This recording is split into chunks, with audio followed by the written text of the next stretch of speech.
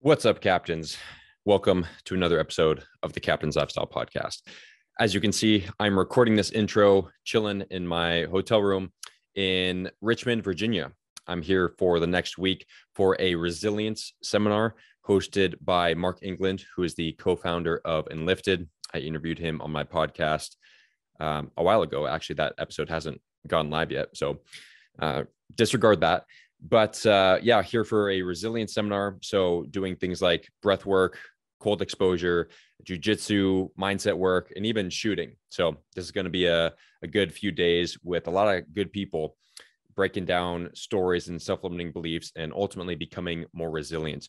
And uh, if you follow my Instagram, I was recently in Austin, Texas. That was a fantastic seminar put on by Aubrey Marcus with Fit for Service.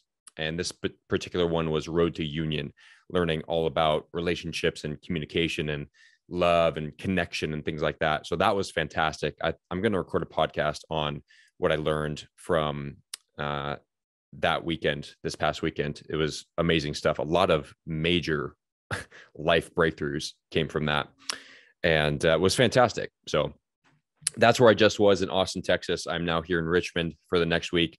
And then after this, I will go back to Austin for a uh, another coaching seminar via the Strong Coach.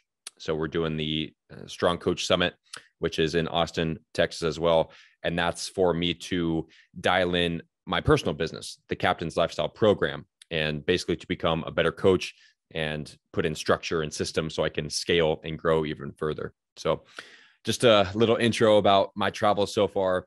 And uh, speaking of travels, as you can see, if you're watching the YouTube video, I'm rocking my Lambs beanie and my lamb shirt. And what you can't see is my Lambs underwear uh, because I just got off of the flight. Like I mentioned, I just got in here to Richmond. And every single time I fly, I wear my Lambs clothing because, as I hope you're familiar with by now, especially when traveling in airports or on airplanes, is when you're just being bombarded by a lot of EMF.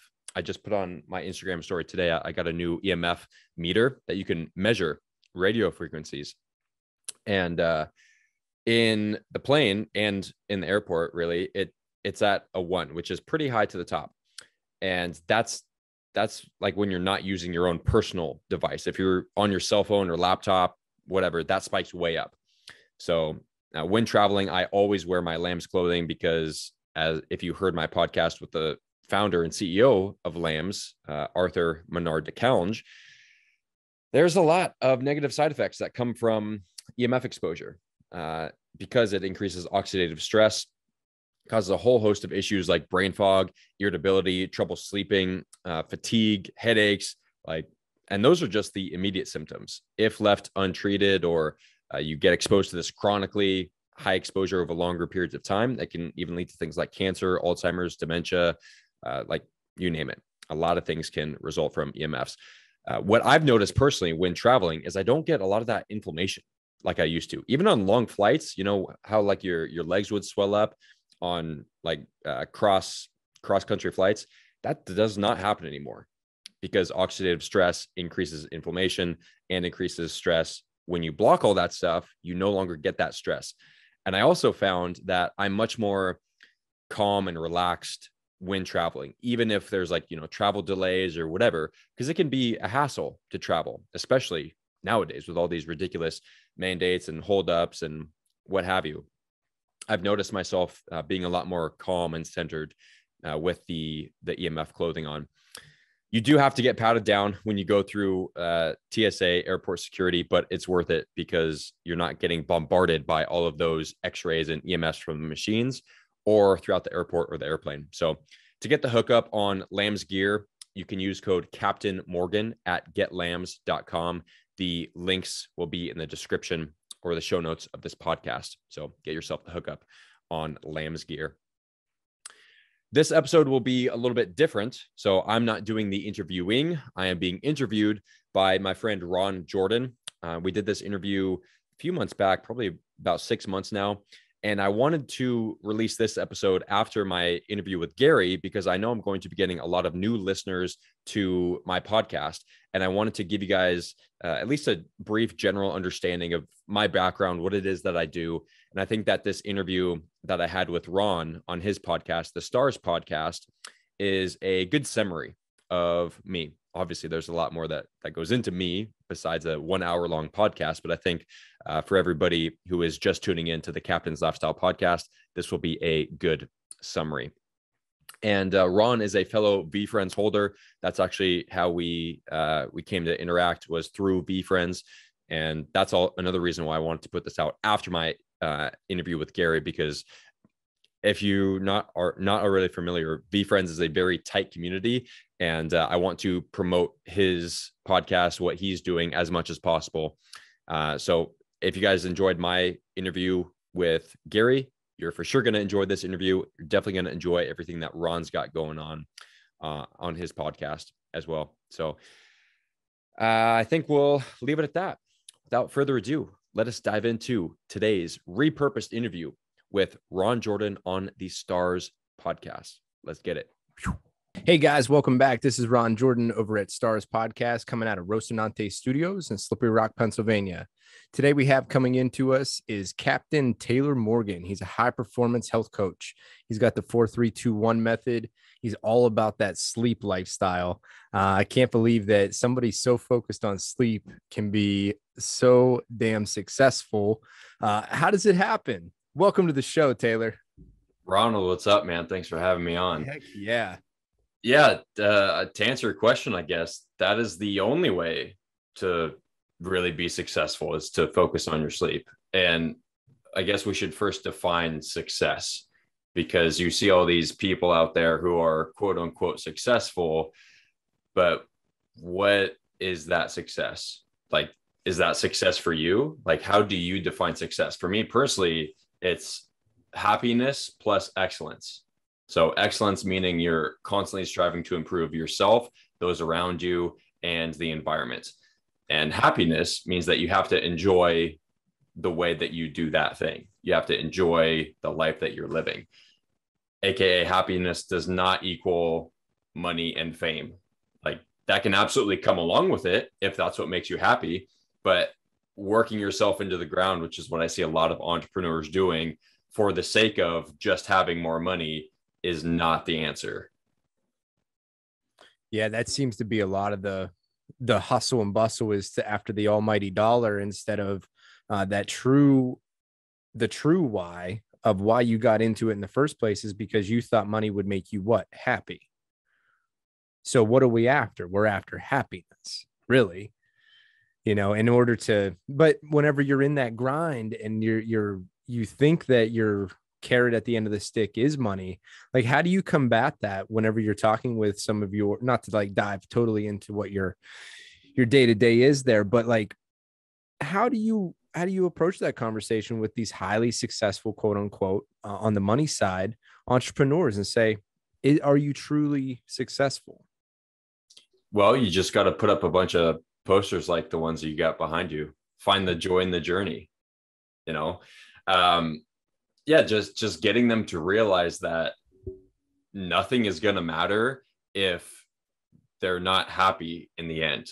Like you can have as much money as you want. You can have as as many material things as you want. You can you know you can do whatever but if you're not happy it, it's not going to matter. Like if you're on a beach somewhere in Costa Rica sipping your martini with 10 hot models beside you with you know you pull up in your Ferrari but you're not happy inside? Like you go home to nothing? Like what what is the point of that? So um in where is it? Yeah that book own the day own your life by aubrey marcus. There's a, a really powerful uh, point in there. And he goes over he takes this from someone else. It's not his original work, but the top five deathbed regrets. And the one that every single male patient that this nurse cared for, every single one said that they had wished they had let themselves be happier. And notice the phrasing there let themselves be happier. Because on their deathbeds, in their old age and wisdom, they had then realized, unfortunately, when it was too late, that happiness was a choice all along. And it was the only choice. Like that is the path that people should be on, not whatever else. Like money is absolutely a part of that. Everybody needs money. It's not a bad thing to want to make more money as long as you're happy doing it and that it's going to bring you happiness in the end. And I think just people have it backwards. Yeah, I'm a big fan of Aubrey Marcus and the Onnit it brand themselves. They've yeah. I mean he's since parted from from Onnit themselves, but Aubrey has always been somebody that I've looked to when his insight in in perspective is so interesting and his ability to deep dive and he does the work and goes and talks to people um, like the deathbed situation he he seeks out that that info um and god that's the first that's the number one really yeah let me let me just grab it real quick. Yeah for sure. Because you always hear about like they all the the the regrets are not spending enough time with family or not you know that that connection piece. They never say well i don't want to say they never because i've never done the study but so I, I, got it right here. I had it bookmarked because uh, it's i refer to it quite frequently. Mm-hmm. so the name of the the woman who did the it wasn't like a scientific double blind placebo like peer reviewed study. She just did a i don't know what it was but her name is bronnie ware. And she was uh, uh, a nurse who oh she wrote a book on the top five deathbed regrets. And uh, the top three in no particular order but i wish i hadn't worked so hard was one of them. So you know the common phrase nobody on their deathbed wish they had spent more time at the office is so true like mm. you don't need to be working more you need to be enjoying life which obviously hard work is a part of being able to enjoy life, but work for the sake of work should not be your goal. Outsource and hire people as much as possible. And that goes into Tim Ferriss's four hour work week, which is another yep. fantastic book. Uh, and then next up, I wish I had stayed in touch with my friends. So uh, again, that kind of goes into the happiness level because it doesn't matter how much success quote unquote you have if you don't have the friends and the relationships to enjoy the fruits of that success with um, and then the happiness one like i mentioned. Mm-hmm. yeah that's the truth too and i've i've tried to do this more and more often is just reaching out to my buddies just saying hey how are you doing? How are things going? How are the kids? You know just reaching out and getting those touch points and i, I want to seem i want to be genuine in it because i am authentically being genuine and i want to know how things are going but it's funny how little reciprocity there is. Yeah, I do you notice that or is it just me? Am I no, absolutely. I'm I'm the exact same way. And I need to I will get better at doing this too. Notice how I, I made that switch from want to to need or need to I'm going to. Yeah, yeah. I, this is a little tangent, but I I do this to to my clients all the time. Like your language matters. What you say matters. What you say subconsciously, your brain understands that. And just that making that little switch to, I want to start getting better at reaching out to friends. I'm not going to fucking do that. If that's, oh, can I cuss by the way? I, yeah, I yeah. So. You're totally okay. fine. Okay. Um, yeah. So if, if you phrase it that way, any goal you have, if you say, I want to, I should, I wish, that's never going to get done. Like, how long have you been saying you want to dot dot dot go do that thing that you know you should be doing? Instead reframe it instantly just like i did to i am going to. And right now i'm literally writing it down to reach out to friends.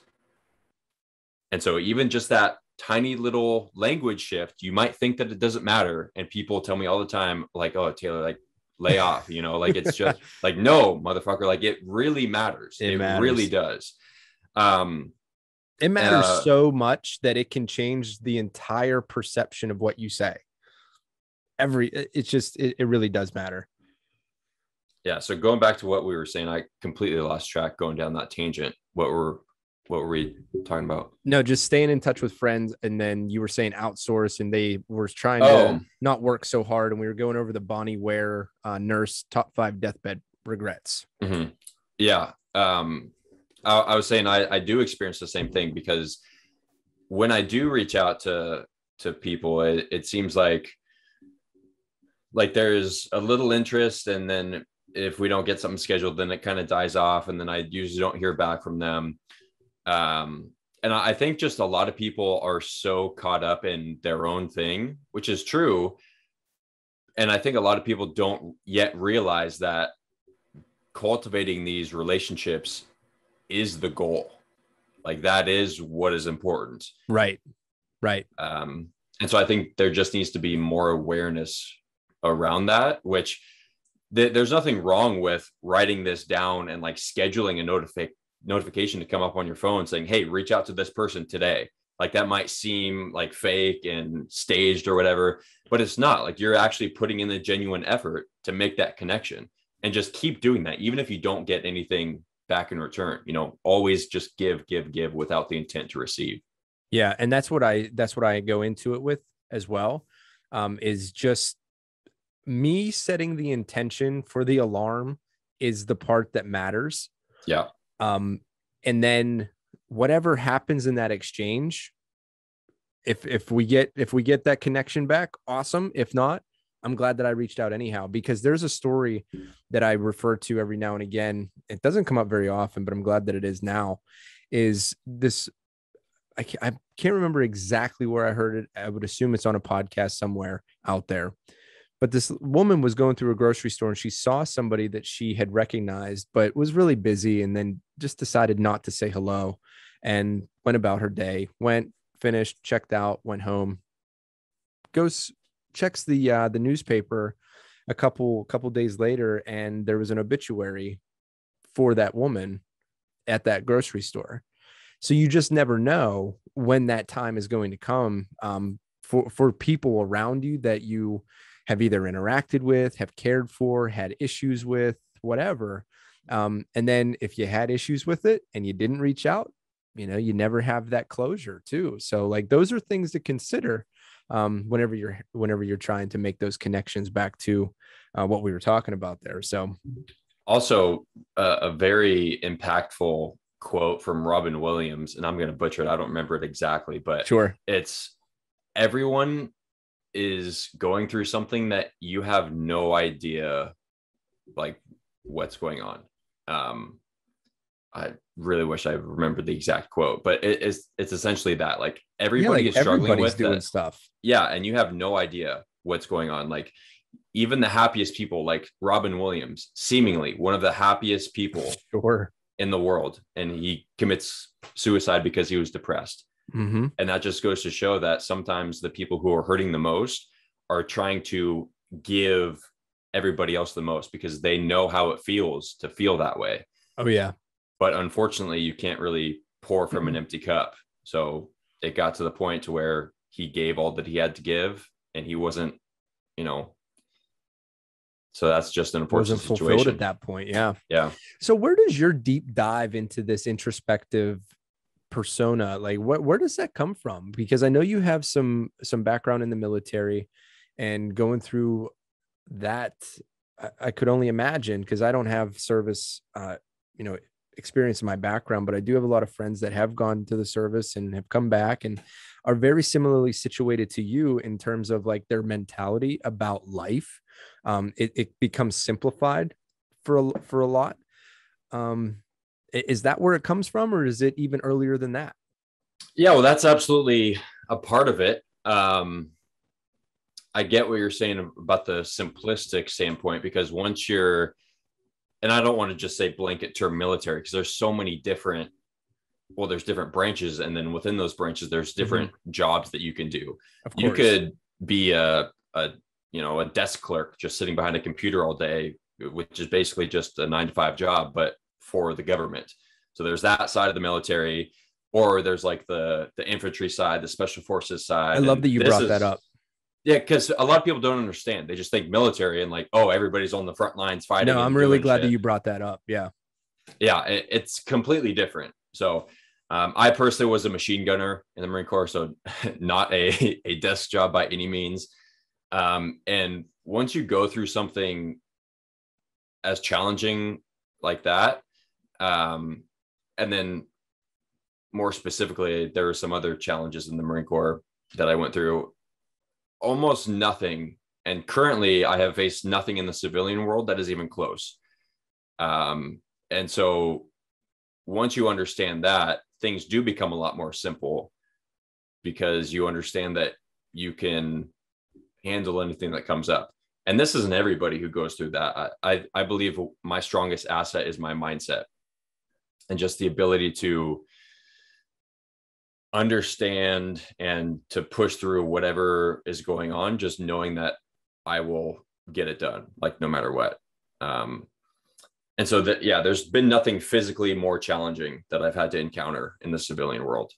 Um, so that's part of it. But then also while I was in, uh, I was a heavy drinker, as with almost every single Marine you meet, mm-hmm. and uh, had some some trouble with that. I wouldn't define myself as an alcoholic, but it was like every single weekend, like I was getting hammered and yeah. like you know driving back to base drunk, very dangerous. I don't even know how I made it back sometimes. Like so, one one time I remember my friend had to wake me up. I was in my car uh, in the parking lot. My car was running, oh. and he woke me up at like 6 a.m.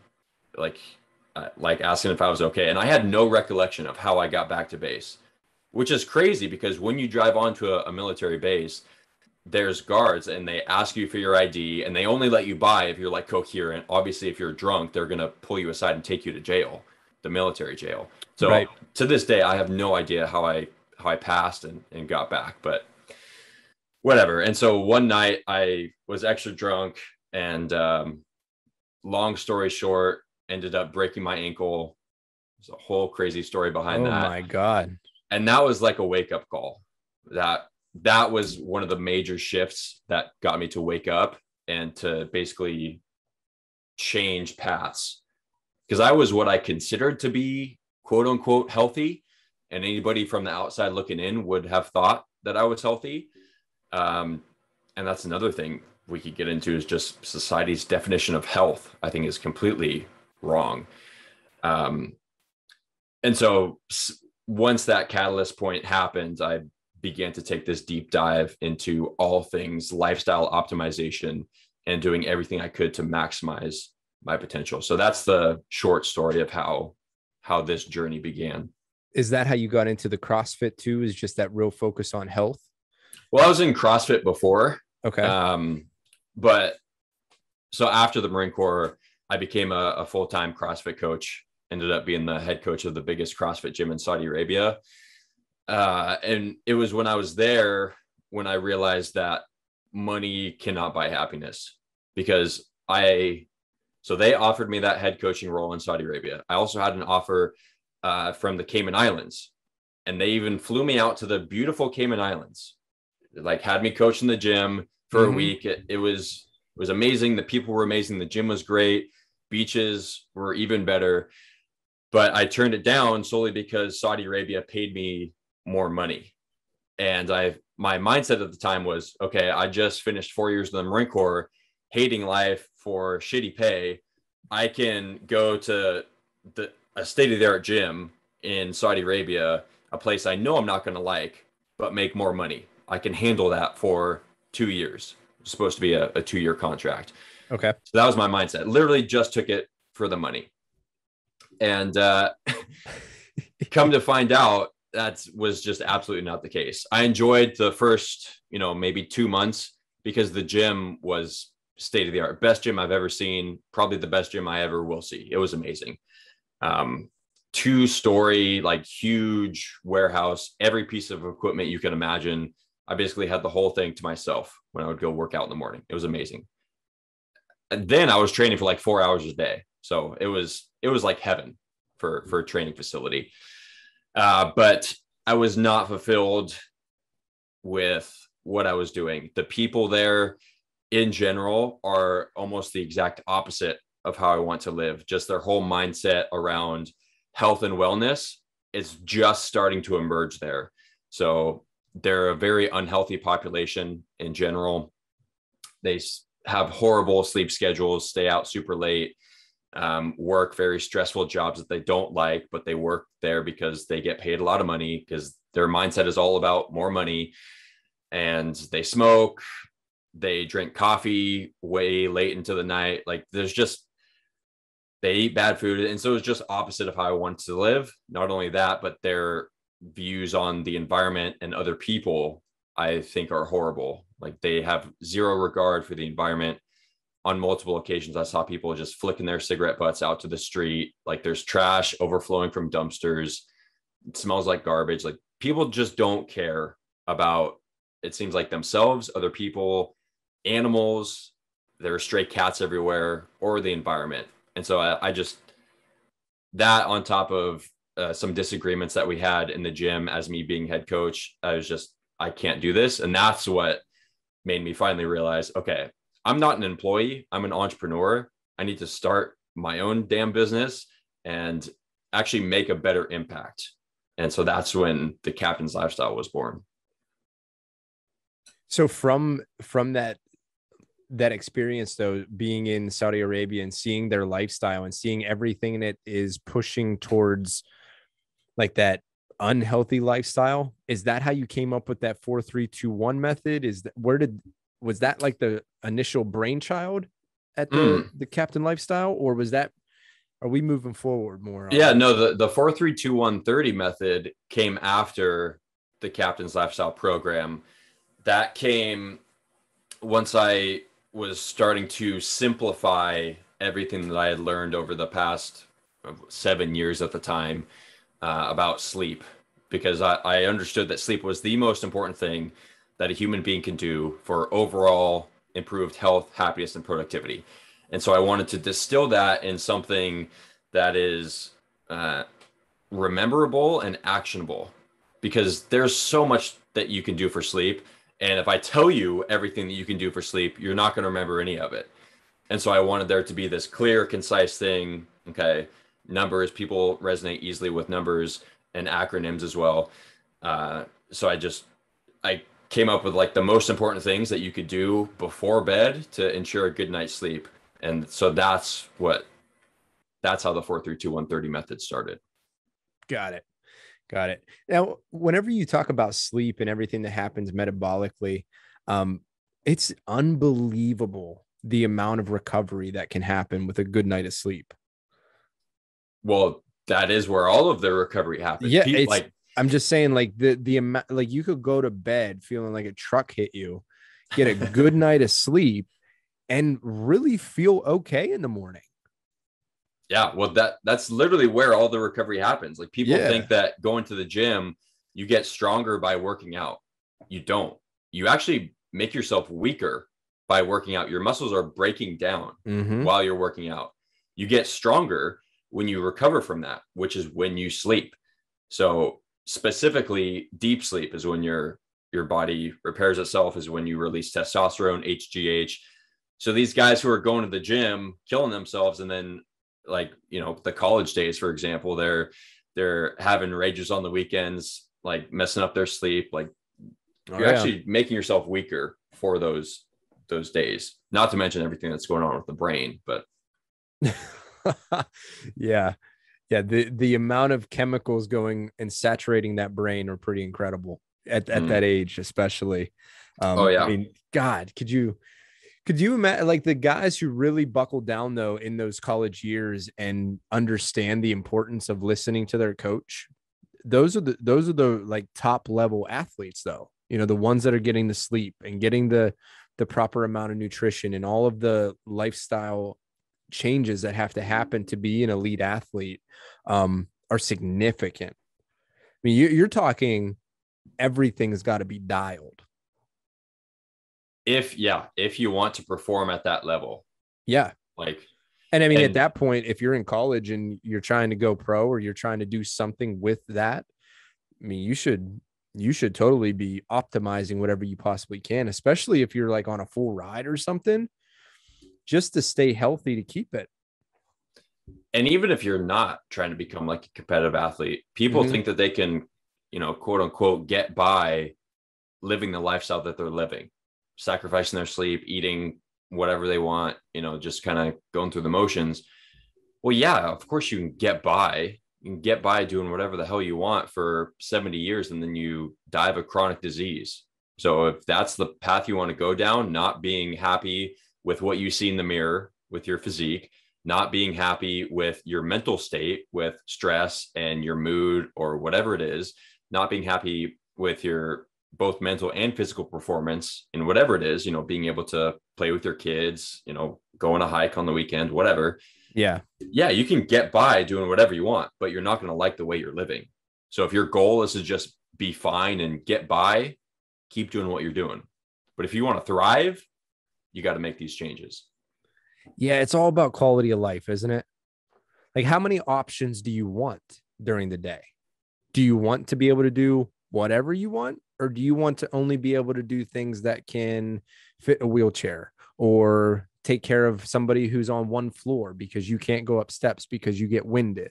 Mm. Um, the, you know, those are the types of things that you have to start to contemplate if you don't have a high quality of life uh, in terms of uh, of of health. So you did say something back a couple minutes ago about what our definition of health healthy is. Um, I guess what is your definition of healthy? I'm I'm curious.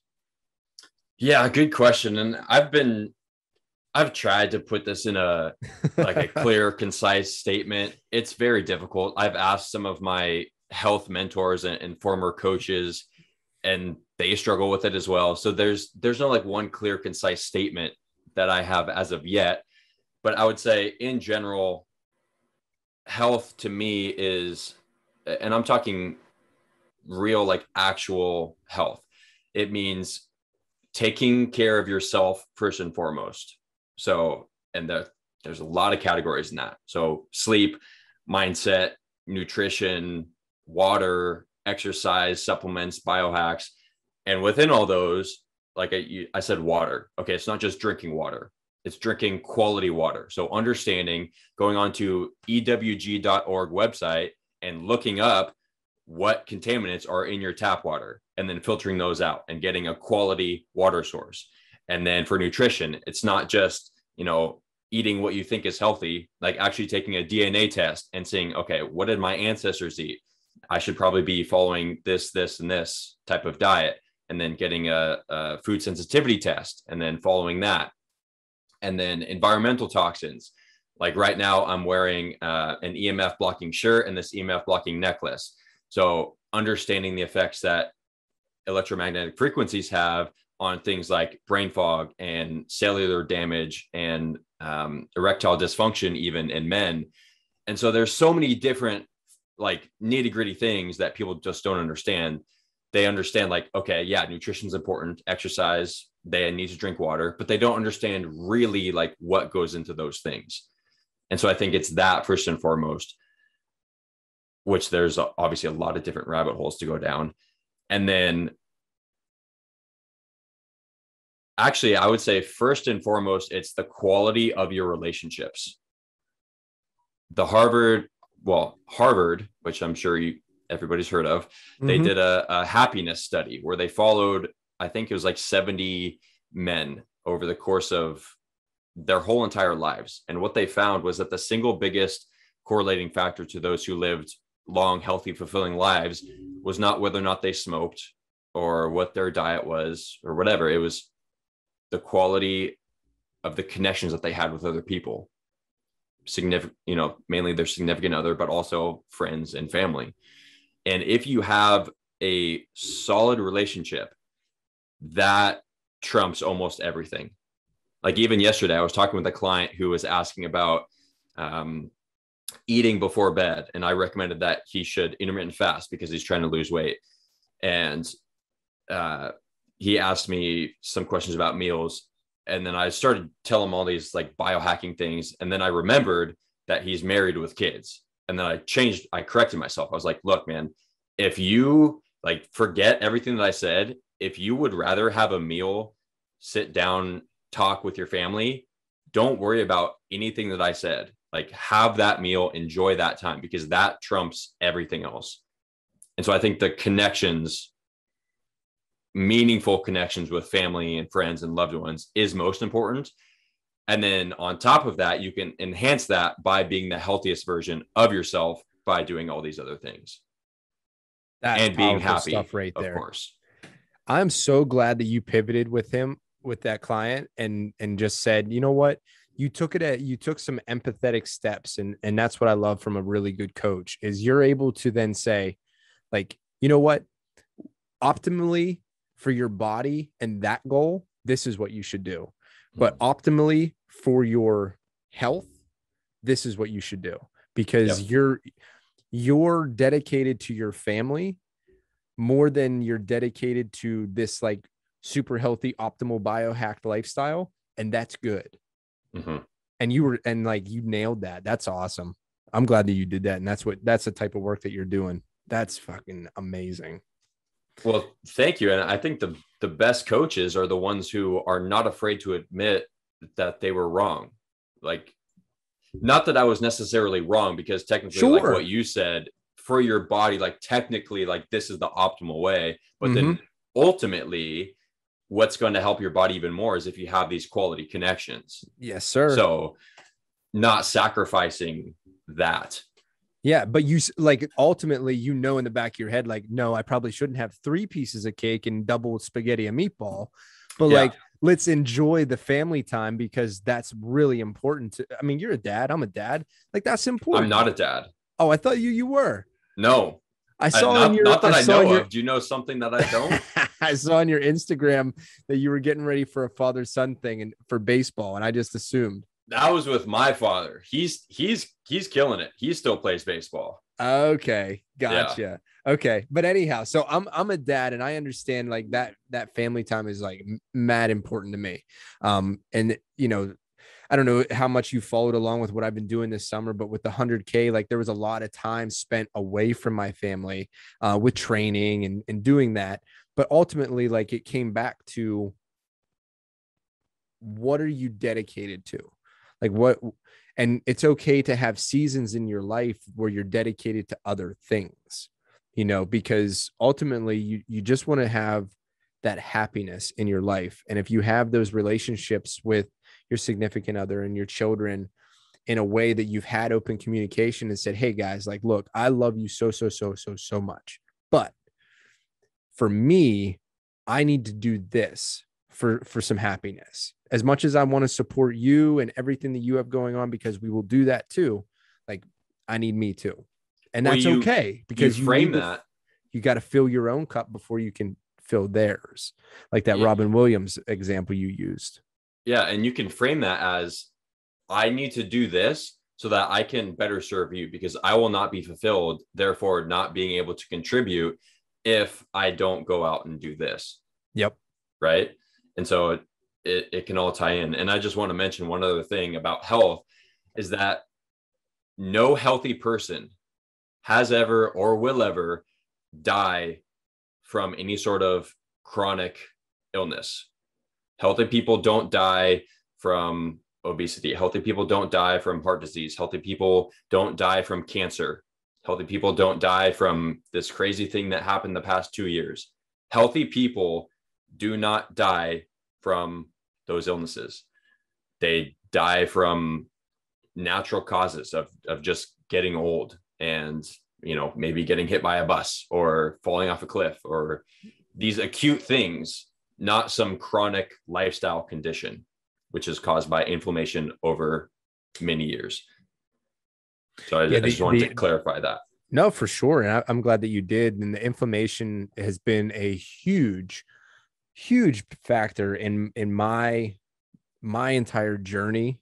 The whole inflammation story of uh not story, but rather like so I was on the ketogenic diet for quite some time, did the intermittent fasting and and did all of that. And then the inflammation did it just it goes away.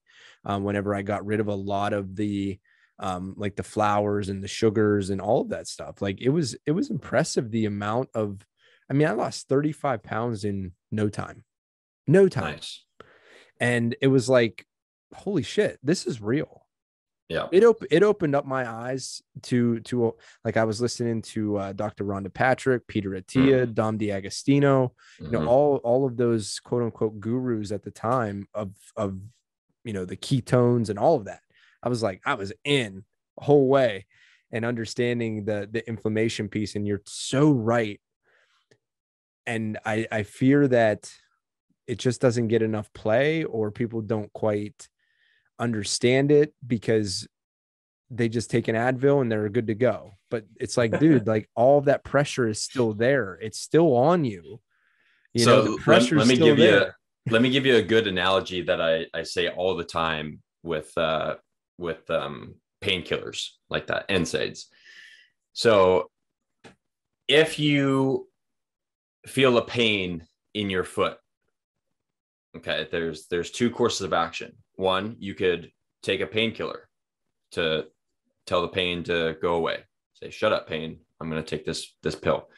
Or you could take off your foot and not take off your foot, take off your shoe and examine like what what's going on in here. Uh, and then you dump out your shoe and turns out there's a rock in there that was causing that pain. And oh, my cat just opened the door. nice. so yeah, you take off your shoe, there's a, a pebble in there that was causing the pain and so you just dump it out. So there was no painkiller needed at all. You just take out what was causing the problem. And so Western medicine in general, of course, there's some quality Western medicine practitioners, but in general, Western medicine is the first option. They just give you this pill. You have this pain, here, take this pill. They don't try to find out what's going on. They don't spend any time trying to look at what the root cause is here, this pill, it's easy. You take it, you feel better. Yeah, you feel better, but the pain is still there. You're just masking it, covering it up. The holistic approach that I decided to take, which is what I believe is the uh, I believe is the the best possible way. Western medicine is really good for acute injuries and illnesses. Uh, like if you get in a car accident, you know, and you break your leg, of course, go to the hospital. Like if you come to me, there's nothing I can do to fix your broken leg. Like you have to go get that fixed. Mm. Um, but yeah, going back to the holistic approach, we take off the shoe, see, okay, what is causing this? What what is cause? How did that rot get in there in the first place? And how can we prevent that from happening in the future? And this goes into the six pillars of optimized human performance that I teach, which are mindset and brain health, sleep, communication and relationships, nutrition, exercise, and biohacking. And then once you understand at least the basics in all those categories, there's not much that you'll get sick from. So the six pillars, that's what you're I love I love all the numbers. You have all the numbers. It, I, I, feel like, like a, it just makes it easier. It does. And I've always said that too. Like all of these, because they're just as you were trying to explain what is healthy, it's so it's so macro that it's hard to get it into the, it's this three words, mm-hmm. you know. But whenever you can say, you know, six pillars, people can point to that and and have a rough idea uh, what six things are and then they spider out. I, I just think that it's a it's a genius way to think about um, just the way to sort the columns, if you will. Mm-hmm is, is is the way I like to explain that because there's so much information out there and people like yourself to be that conduit like you're the filter you know you like it goes through your ears your brain and then you're like okay these are the things that you should probably pay attention to like yes it's optimal to have 3 tablespoons of this and blah blah blah. But let's be realistic like you you're a human. That's yeah. it's obviously not going to work out that way. So let's get it to a point where it'll work for you. And i'm sure that you go through this with your clients too is like whenever you're talking to them it's it's always this is optimal but what can we do to get you to optimal? Like immediate let's get some quick wins. Um, what are some quick wins that you like to do with your clients? Just maybe one or two. Yeah well first i just want to bring up that that point that you mentioned. There's the optimal state and then there's what you're actually going to do. Like new year's resolutions for example. Would it be amazing if you were perfect the whole rest of your life? Like you make a new year's resolution to never eat cookies again. Okay that might be great but are you actually going to do that i think that's why so many huge goals fail is because especially around new year's time when people have all this you know motivation they're like okay i'm going to do this I'm going to go to the gym every single day. And then gym membership spike, and then February comes around and there's a huge drop off. It's like, okay, well, it sounds like you overcommitted. So instead of trying to do everything that you can all at once, let's focus on what you can do now. So if your goal is to work out every single day and you've been a couch potato for the past few years, let's let's start with tomorrow. How about tomorrow you do 20 minutes of just going outside for a walk? How about you start with that? And um, just creating those smaller goals. But, anyways, back to your question.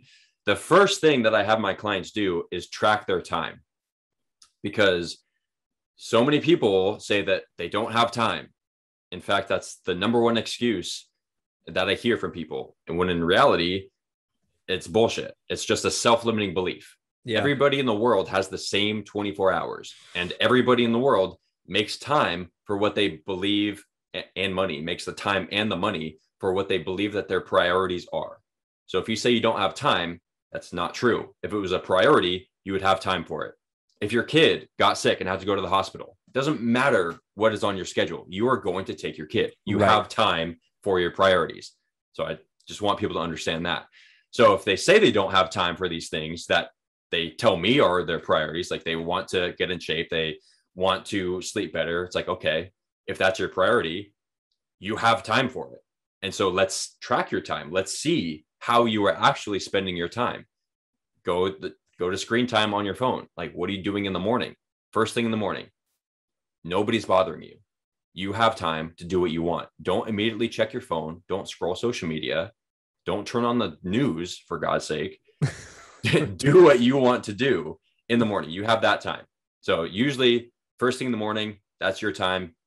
Nobody's going to bother you. And usually right before bed, you have control over those two spots in your life. Throughout the day, of course, depending on your job, there can be some things that come up that you don't have control over. So that's why I came up with uh, the rituals of the optimized entrepreneur video course, which goes over the 432 method nightly ritual and the cages morning ritual because I believe if you can take control of those two times throughout your day, even if the middle of your day goes to shit and you get nothing productive done, at least you won the morning and at least you're going to have a good night so you can sleep well and win the next morning. Yeah, I like the bookends on that. Yeah. That's the that's like go to bed happy, wake up happy. You know what happens during the middle just enjoy it as much as you possibly can. Some of it's out of your control, but you can control the the bookends. That's really and that's that's good. I like that a lot actually. I always say brush your teeth first. You know, before you could do anything else, just at least brush your teeth and at least you know you did something for yourself. And it comes from an old movie I watched um, where uh, the it was like POWs and they were in this camp. And then the guys who ended up surviving the camp itself were the ones who kept shaving, kept hygiene up. They were able to entertain themselves. Mm. Um, you, you couldn't, you couldn't stop them from just entertaining themselves somehow. Um, and those were the ones who were able to survive the, those situations. And I'm always thinking about that, like, because that's what we're all doing. We're all trying to survive. We're all trying to be happy. And what are the, like whenever it all comes down to it to like the most basic as long as you can get some quick dirty wins and keep yourself entertained like that seems like a pretty good recipe and then we can work to optimize for sure well like here's that. this I, I, don't even brush my teeth in the morning are you serious i'm serious i don't so i only counter, brush my teeth once a day you counter me yeah so instead I, I do do oral care first thing in the morning. So to your uh-huh. point, I, I do start off with that, but it's not brushing my teeth. Instead, I do what's called oil pulling. Oh, so, okay. Yep. Have you heard of that? Yeah. Yeah. Dude, so that's into, what I do. I'm into some pretty wicked extra virgin olive oil too. I like know that you can do like oil pulling. Yeah. So like because you're doing the like the swishing back and forth, right? Yeah, I use coconut oil. Yeah, I've heard of coconut oil and I've done I've done that as well. Um, but yeah, I do some extra virgin olive oil too, and it's it's been um, unreal. Is that it's not like too spicy? Because good extra virgin olive oil's got that. Yeah, some of it. it's spicy, but I like that. I'm okay. Yeah, I, but you can get it. So that's something that I went down whenever I was listening to Ben Greenfield Fitness. Have you ever listened to him? He's one of my biggest inspirations where I get all of my information from. Oh, really? This is basically my Bible. Boundless, his Oh, book. Yeah. Yeah. Yeah. Well, he had um he had TJ TJ uh The holistic dentist. no TJ something TJ Robinson I, I believe is his name and he's called the olive oil hunter. And oh, I heard that episode. Great episode. yeah. Well, I got on to TJ's um oil The program? olive oil of the month or whatever. Yeah, I got into it. So now I get olive oil all the time. Like I got olive oil from Chile, Australia, Spain. Dude, that's sick. I, I thought about doing that and now I, I might actually pull the trigger because that it's sounds so amazing. worth it. It is so worth it. Um, the, just the flavor whenever you're cooking with it. I'm sure that you cook all the time. Like unbelievable. Yeah. Yeah, it's Wow. incredible. But yeah, so you do oil pulling. Explain your method because I haven't done it in a long time. Um, but explain what that is because I'm sure a lot of my listeners don't know what that is. Yeah. So basically, it's just you swish around oil in your mouth for 10 to 15 minutes and then spit it out. So, why I use coconut oil uh, first thing in the morning is because it's naturally antimicrobial and, and antibacterial. So, it it's basically like a natural mouthwash, essentially. And so, I, I swish that around in my mouth in the morning um, for, I, I do it for about 12 minutes because that's uh, the time that I I wear these um, these earbuds that emit light into my ears to help my circadian rhythm to wake me up because I wake up super early. Uh, I wake up at 4 a.m. when um, my chronobiology is um, a bear chronotype, and this is a whole nother topic, but basically based on my chronobiology, I should be waking up with the sunrise, which is around 6:45 to 7 a.m. But I don't like waking up that late. If I wake up that late, I feel lazy.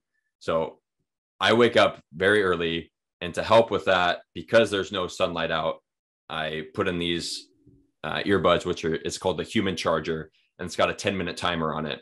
And so once that goes off, I know to, to get out and spit out the coconut oil. You want to make sure you spit it out, don't swallow because that's all the nasty bacteria in there. So spit it out, rinse out your mouth, and then I chug some water. Nice. I've never done it for that long. I didn't know it was supposed to be that long. Yeah. I would say 10 minutes is probably like the the minimum. Yeah, I've been doing it wrong forever then. Damn. I, I mean, who knows? I might be wrong. So it yeah, I just where you I just did it. I. I would do it quickly and then that was it.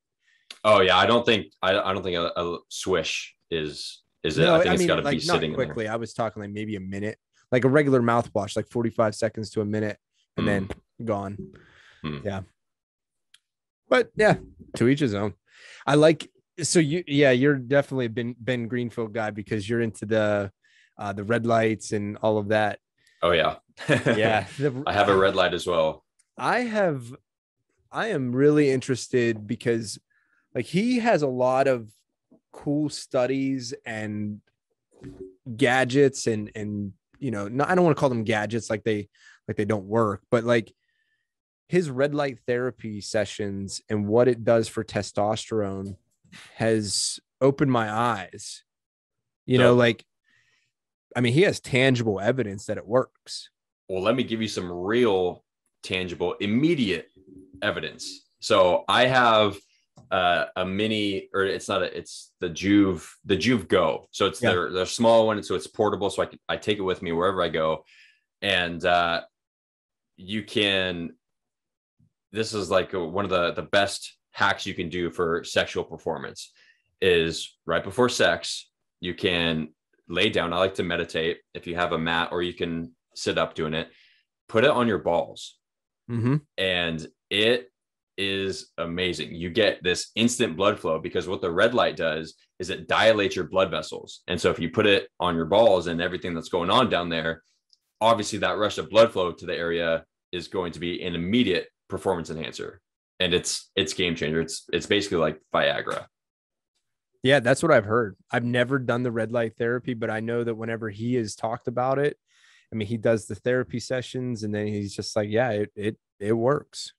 It does. So I do that um, sometimes twice a day, maybe once in the morning, and then usually before bed, Mhm. and then uh, sometimes full body light panels, like front and back red light panels. Um, and that's that's even better. Like if you can do full body, that's great. And so I go to a place that uh, my girlfriend works at called Restore, and they have Okay. full body red light panels. Nice.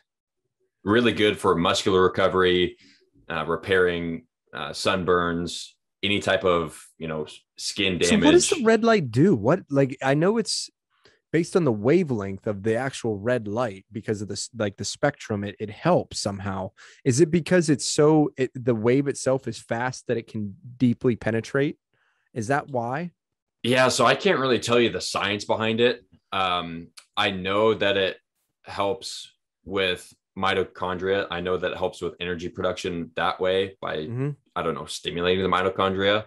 Um, but how it works for muscular recovery is, I think, primarily via blood flow, because you know when you get hurt or if you're super sore, the uh, the common advice is just to you know relax stay still take it easy that's actually the opposite of what you should be doing. You want I to get up and move to get the blood flowing. And so this red light can significantly help with that. And you Um, don't have to be like you don't have to actually move for it to invigorate somewhere. Like sometimes you have to like be moving physically but it hurts so you don't want to move. And that's why like this red light therapy w- would assist with that because it's you don't have to move but you're you're invigorating it like you would be if you were let's say massaging it of some sort yeah and it would be full body too. yeah um and then for like how it heals sunburns like i can't tell you that uh, Mhm. but i know it does and even if you don't have a red light panel if you get sunburnt get exposure to the sunset because that's the same frequency of red light so that helps as well Yeah, it's something that I've learned through photography and through my my day job of selling infrared cameras is the wavelength of colors and the the spectrum has drastic effects on us. Um, that's why I'm really interested whenever you're talking about the human charger and the red light therapy. Um, it sounds a little bit wild, but it it's really not. In like even if you think about how animals are and why they sleep on certain sides of the mountain it's because of the these things that, that we're Mhm. talking about um the they get it They- they understand it um the circadian rhythms and and the like the the wavelengths of the sun and all of these things there it sounds really wild and out there but whenever you learn the science and you actually look at some of the data points it's like like ben greenfield for instance has done the data points. Like he's able to study all of this in a, in a really intricate way. Um so i've i've been a fan of his for a long time and um i'm glad that i found a fellow ben greenfield oh yeah. fan for and sure I, I think you brought up one of the major problems in society is that these things that we're talking about right now they do sound kind of you know weird and out there and crazy. And that is the problem because we've gotten Mhm. so far away from from the natural being. world. Yeah. We've gotten of the so natural far away. shit. Yes. And it's crazy because I, don't- I don't want and to it's happened too so fast. It's happened so fast. Within the past like 50 years. Yeah. Yeah I mean, you you you can even look at like you can look at old newspapers and see holistic medicine. That's how and now it's like now it's like frowned upon like if you go to a holistic doctor like are you crazy like what is wrong with you you know? Mhm. Oh, I know. And sometimes, yeah, I do look at people that do it like to the full extreme, and I'm like, ah, like whenever you say like a broken leg, I, some some there's some other things that you should go to a doctor for too. And you know, we don't have to get into that today, but Mhm. it's like not everything is holistic in terms of like treatment. There's some things that you know you need to go see a doctor, and maybe you can do holistic, but um, it's probably optimal to to get it treated by Western medicine. However, I'd say 90% of what we treat on a daily basis could probably done with uh, a healthy diet, an active lifestyle, and healthy relationships. If you can get those, and and I think we're gonna do sleep on there too. I'm gonna add that because once you have those prongs, you're good. You're good. Mo- like you said, you, you're not gonna die from a one of these one of these ailments that you get because you are obese or you're inactive you know you're sedentary and, and those types of things. So like yeah I, I think the redefinition of what it means to be healthy and the redefinition of of uh, like your your mental health and your physical health are things to be considered moving Mm-hmm. forward. And also we, we mentioned obesity. Don't think just because somebody's skinny means that they're healthy or even don't think that just because somebody is ripped and has muscles and a six pack that that means they're healthy. That absolutely does not mean that they're healthy either. Health is internal. Yep. They're You can- physically healthy maybe. Yeah and you can tell a lot by looking at someone. Like obviously if you're overweight this whole body positivity thing like i'm all for loving who you are and accepting that as long as you're you know you're trying to become better. But don't try to say that that's healthy because it is it is not healthy you cannot be overweight and be optimally healthy. It just you can't. But same thing you can't be skinny and be healthy. And even if you're ripped that doesn't mean that you're healthy. Health is internal. And so like even if um there's somebody who's not overweight and they're they have what's called like skinny fat you know like not being fat but being skinny but with low muscle mass. Mm. That is also very unhealthy. And then internally you can have a lot of health issues like chronic stress.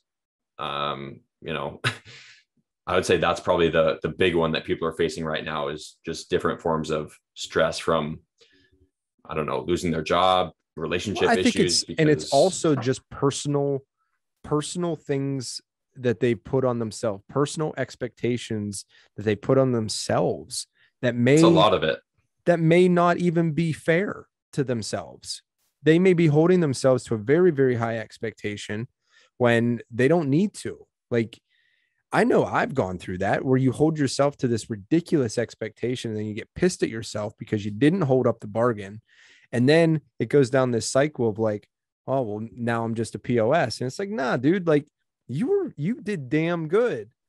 You know, you, you're whatever you know you you got to this level. Okay so now let's recalibrate. Like once you start going down that path of "Oh, i'm a shithead blah blah blah ah let's pump the brakes.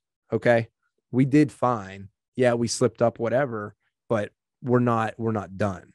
Yeah. that type of thing. Like and then the unrealistic expectations i think that people have for themselves um is is is tough. And i and I think that if we were a little bit more self loving and realistic about what we can actually do, and that's why I love that you say that you have your folks track their time first, because what can you realistically do if you think out your week?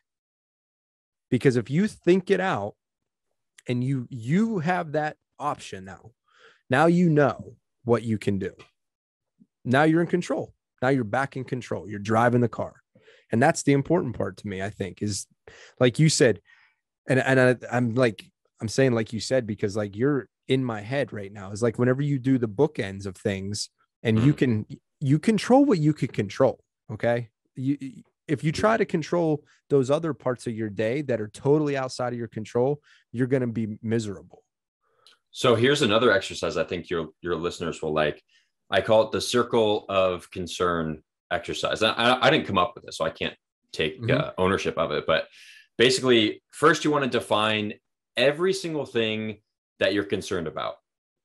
What you heard on the news, what your friends tweeted at you, what your kids are doing in school, like everything that you're possibly concerned about, what you're going to eat that night, whatever. Make a list. And then once you make that list, make a list of out of those things what you have influence over. So, what you saw in the news, you don't have any influence over that. What your kids are doing at school, you have some influence over that. Okay, so write that on the influence list. What you're going to eat for dinner tonight, you have influence over that. Okay, so narrow it down. It should be a big list of what you're concerned about, then a medium sized list of what you have influence over. And then out of those things that you have influence over, put a separate list of everything that you have direct control over. And this is going to be a very small list Mm, because you find out that you really only have control over yourself, your thoughts, and your actions. So you might have a very big influence over what your kids are doing at school, but ultimately you cannot control another human being. So you do not have control, direct control over your kids. Right? That that might be difficult for a lot of people to hear. But the the food, for example, you always always always have 100% control over what you put into your body. Unless okay 99% chance unless you're being tied down and physically forced through force fed through a tube you know. But for the majority of people in normal human life you always have control over what you consume even if that option is nothing. People tell me all the time oh yeah i'm trying to eat healthier but then they brought in donuts to the office and i just i had to it's like okay well and, and that was the only thing to eat okay well the option of not eating is also a very fantastic option. Most of the times, it's probably a better option then we can get into the benefits of fasting. But back to the control, you find out that you only have control over a, a small subset of, of things in your life, and then really start to think about it. So another example I give is traffic. If people get upset that they're in traffic, okay, you you can't control that there is traffic, but what you can control is what time you leave. You could try to understand what is the busy time of day. You could look for an alternate route. You could leave earlier. And then even if you are stuck in traffic, you could reframe your mindset from this sucks to this is awesome. I can now use this time to listen to a podcast and learn something. Right. So going back to what you said, a lot of this stress people are just putting on themselves. And it it can be all gone if you start to reframe your mindset. Just like that example. It's it's not necessarily 100%. easy. It's not going to happen overnight, but it's so worth it. It's just it's simple problem solving skills is really what it all boils down to, uh, and I think that if we can if we can optimize our ability to in the moment problem solve and be able to under, not understand but rather call to our ultimate goal in those moments is the is the magic if you if you can in the moment boom okay pull from there this is how I need to react. Okay, here we go. Not in control. I am in control. And then we can work that out. I think that's a fantastic mindset. And man, dude, I could talk to you all day long, all day long. Okay. Right now, I got to digest what we just did. I'd like to have a round two if you if you would be so kind at some point. I know that your your schedule is busy. Let's table it for today if if that's all right with you. Mm-hmm. Yeah. Where can they where can they find more stuff about you at? I just want to say the last thing that I'll say is the fastest way to get control of your stress response is to breathe. So once you mm-hmm. control your breathing, you control your body's stress response. So I would say the easiest way to start is a double inhale through the nose and then a long exhale either through the nose or through the mouth. That is the fastest way that I found, just a singular breath even right there, I, I feel better. So try that when you're stuck in traffic, stressful situation, double inhale, slow exhale. Try Thank that. You. All right. Now, where you can find me, uh, basically just search the captain's lifestyle. Um, I'm basically there everywhere. My website, my podcast, uh, Instagram. My personal Instagram is captain underscore cap or captain underscore Taylor underscore Morgan. So those are the main places you can find me if you want to know more about the uh, the 432130 method, you can download it for free at info.thecaptainslifestyle.com. Yep, I already got mine in, in my in my email right now. So, all right, brother. Thank you, Taylor. Appreciate your time. I'm gonna go binge. Uh, I'm gonna go binge listen to all your shit. So, awesome, Ronald. Thanks for having me. Absolutely. As always, guys, take care and enjoy the journey. Have a great day, guys.